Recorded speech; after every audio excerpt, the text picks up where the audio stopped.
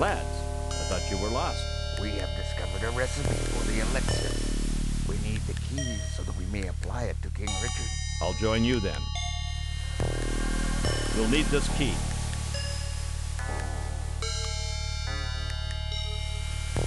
It burns slowly. Torches aren't much good.